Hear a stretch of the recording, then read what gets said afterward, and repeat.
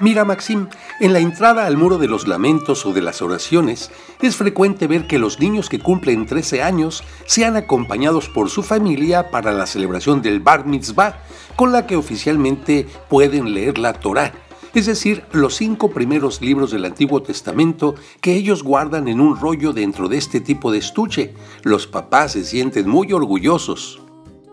Y este es el llamado Muro de las Lamentaciones, porque es lo único que quedó del antiguo templo de los judíos. Se considera un lugar sagrado donde Dios se hace presente y por ello judíos y no judíos colocan sus peticiones en sus hendiduras.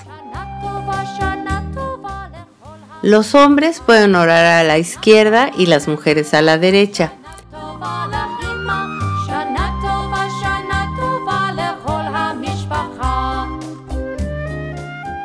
Yo aquí puse todas las peticiones que me hicieron.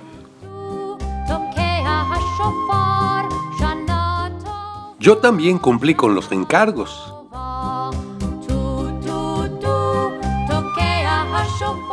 Y luego entré a una zona del muro donde solamente pueden entrar los hombres para orar.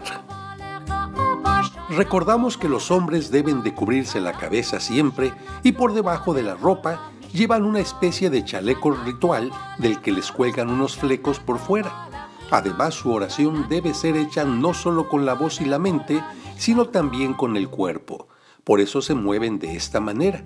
Y para apoyarse, tienen muchos libros de oraciones en el lugar.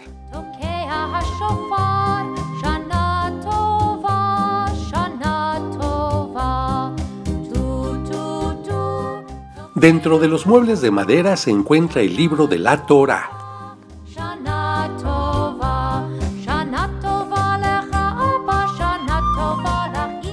Pues ya hicimos oración y cumplimos con nuestros encargos y nos despedimos del llamado Muro de las Lamentaciones.